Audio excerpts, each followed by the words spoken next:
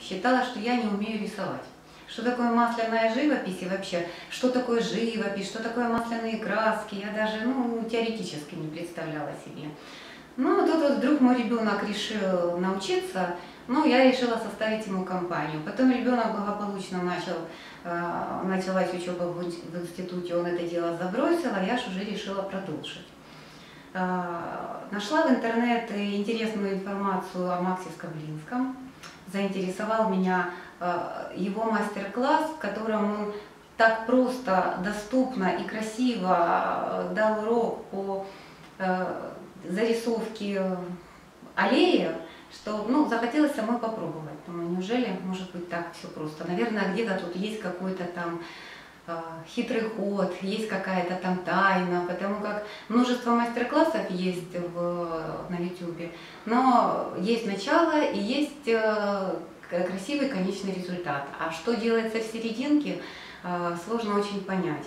Ну вот после первого занятия, честно сказать, я, ну, сказать в восторженном замешательстве, это, наверное, ничего не сказать, потому как, во-первых, а, получила удовольствие от самого процесса. То есть на каждом этапе, буквально там каждые там, 10 минут, полчаса у тебя на холсте что-то меняется, и каждый раз красиво, каждый раз красивая законченная работа. Каждый раз вот можно вот сказать, все, останавливаемся, goodbye, нас все устраивает, до свидания.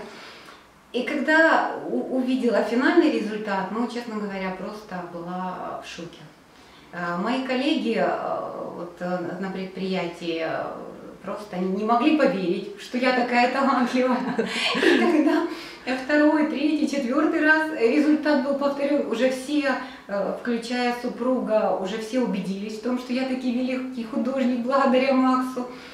И каждый раз на каждом занятии новом открываю для себя какую-то новую технику. Я уже большой специалист по рисованию разных видов деревьев уже освоила, что такое море, что такое небо, уже была, так сказать, и архитектура э, в, в моем таком вот э, творческом добутку.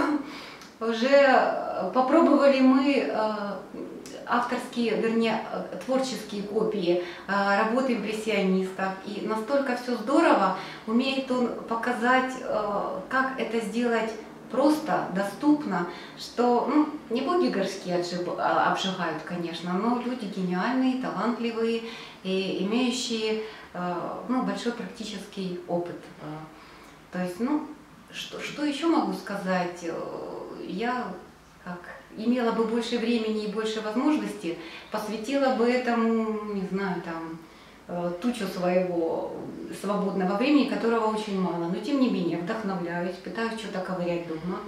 Иногда лучше, хуже, конечно, под руководством Макса Скоблинского все гораздо красивше, гораздо быстрее, но тем не менее э, уверенность в себе есть, э, желание творить есть, и чем дальше, тем хочется больше, больше, больше. Вот, ну, здорово. На самом деле просто Э, мало того, самому уметь чего-то вот, изобразить, но таких, наверное, учителей с большой буквы, которые могут еще вот научить и передать какие-то свои знания, поделиться, не пожадничать, не пожалеть, не там не спрятать, а вот все-все-все, а вот, вот это вот, ну вот это большой практический опыт. Вам так, э, вам, вам этого не понять, у вас так не получится. Ну, наверное, таких людей на самом деле еще не очень много. Я считаю, что мне круто повезло с учителями. Вот. Спасибо огромное.